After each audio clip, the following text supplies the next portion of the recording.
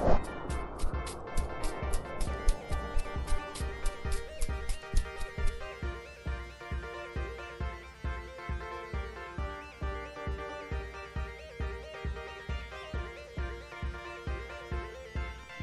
Good evening, YouTube, or at least good evening where I'm recording this voiceover. Obviously, it's daytime here, so I'm all set up. I'm ready to launch. I'm just doing a couple of pre flight checks before I do this first flight. It is going to be a tale of two flights today the up, the down, the good, the bad. Uh, unfortunately, the it's a forced landing on the second one.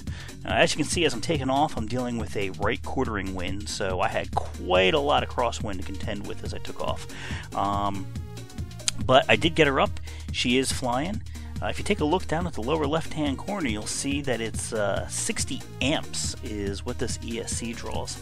And um, right now, this OSD module, which by the way is still the Skylark, it's still set up with the Skylark OSD that I mentioned in the last video. Um, it uh, It's a 12 volt system. So right now, what I'm running is two three cell batteries and the Skylark is actually only measuring the first of the two cells.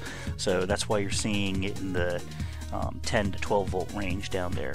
Um, of course, the milliamp hours, I really should only go to about 2500 milliamps because these are 3200 milliamp batteries. So, again, drawing that much current out of the battery, it is uh, sucking those things dry really, really quick. So, as you can tell, this is going to be a short flight. Um, but yeah, this is looking down at the Lenox parking lot um, in the summer of 2016, and just buzzing around, getting familiar with this aircraft. Uh, you can tell 80 miles an hour in that dive. Uh, airspeed's left hand side, altitude, of course, is the right hand side. And uh, you know th- this this airplane is just so so much faster than I was ever used to. And this is the second flight I think I've got with this aircraft. So. It, getting ready to line it up for a landing and um, kicking out the flaps, dropping the gear. You can see the airspeed drops down into the 30s and uh, she drops altitude pretty good. Oh yeah, go back and look earlier in the video. You'll see that ship passing. Um, this is right along the Delaware River. Uh, you can see the GPS coordinates up on the top. Go ahead and plug them into your Google, and you'll see where I was flying this guy. So here we go, coming down, second landing of the day. To shoot that gap right there, and uh, here we go. Here we go. Touchdown one, touchdown two, and touchdown three, four. Alrighty, got her back on the ground. Um, I realized very quickly that I I really needed to take this to my airfield. Um, this this receiver that I have doesn't have any kind of protection in it. It doesn't have any stabilization. It doesn't have anything. Oh, as you can see, I hit myself in the leg. Uh, so so it's really dicey for me to fly this thing. I've got no ability to recover, um, no panic mode, which is what I'm used to with the uh, Apprentice. The Apprentice at least has a panic mode. Now, later on in the season, I will install a different OSD that does have those functions. That's not my car, that's guy, just some guy that passed by the van there. That's me. Um, but yeah, so later on in the season, you'll see that I go ahead and I install a different OSD that um, a, a, Cyclops Tornado OSD, and uh, but for now it's all just GPS driven. So realizing how on the hairy edge I am as I pull into the parking lot here, uh, I figure maybe I should take this guy over to the RC airfield. That way I've got a little bit of backup, and we'll take a look at that next. Alright, so here we are at the RC airfield. Uh, just got it powered up, systems checked. Now, I screwed up a little bit. If you take a look, the if you go back, you'll see that the OSD isn't exactly right. It, it's not. You don't see all the stuff in the lower left-hand corner that you normally would. Right now, we're only seeing amperage draw. We're not seeing the current voltage or the milliamps consumed. Um, and it's because for some reason, when this guy's set up to record, it recorded in um, PAL instead of NTS. So here we go, going to taxi out and try and set up for a takeoff.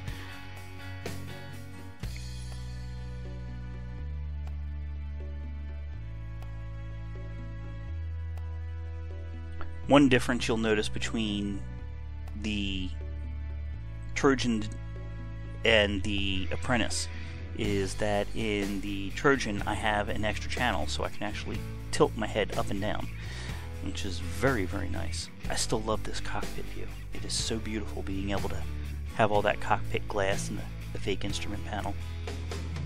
One of these days I want to put landing gear indicators in there, just a couple of diodes. So for this flight, much like the last one, I'm still running on two 3S batteries that are linked up in series, and that is going to become a major problem as we get towards the end of this flight. So here we are doing pre-checks, flaps are at takeoff, half level, and here comes the rollout.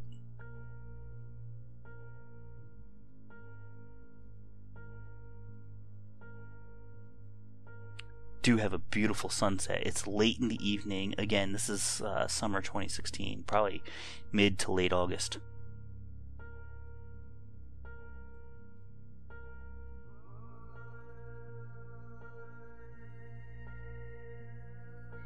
Yeah, flaps up, gear up. You can see it's a 65 mile an hour airplane.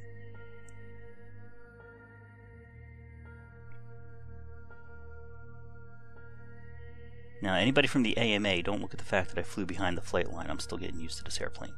So give me a little bit of give me a little bit of break there.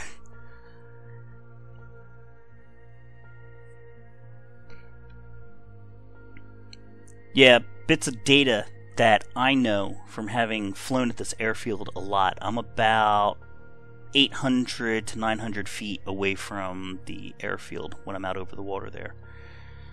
1200 feet is the opposite shore. Uh, you're not going to see it in this video again because of the way the, the screen set up. But at least we are getting airspeed and altitude, so 400 feet. I'm using a right hand circular polarize, so every time I fly over my own position, I'll go ahead and we'll have an interruption in signal like that.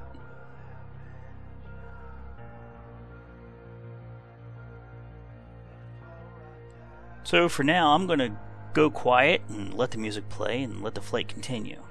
If, however, you want to skip the flight and jump right to the part where I'm force landed, then by all means go ahead and jump to 12 minutes and 45 seconds and you'll see my forced landing.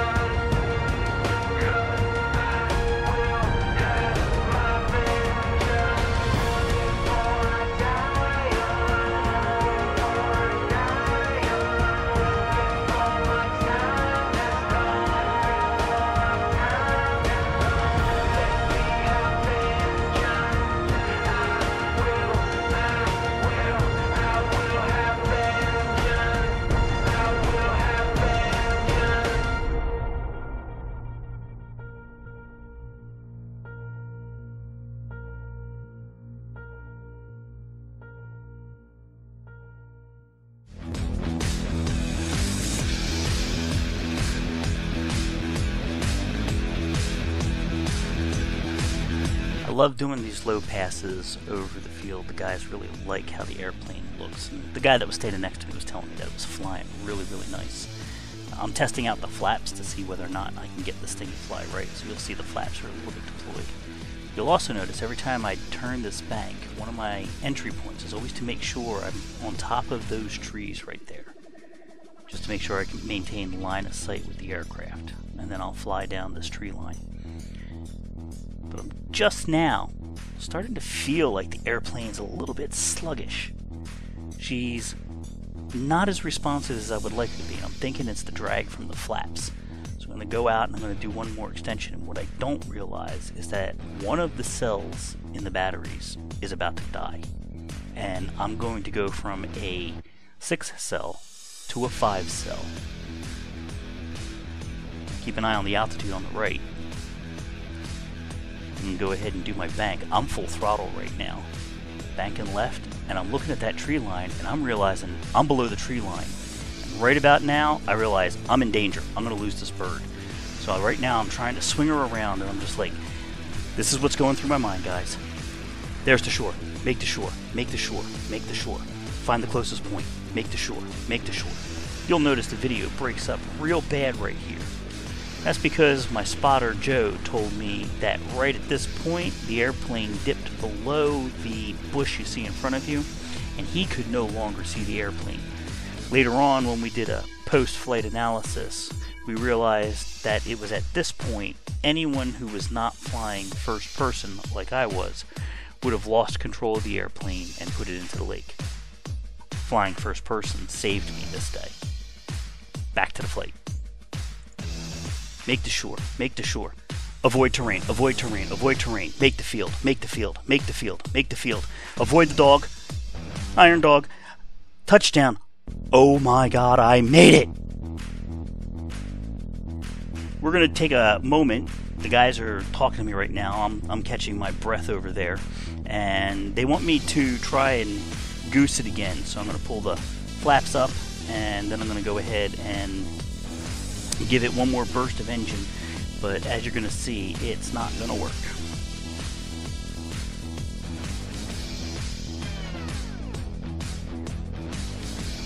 After this, I had to send the recovery team out to get the airplane.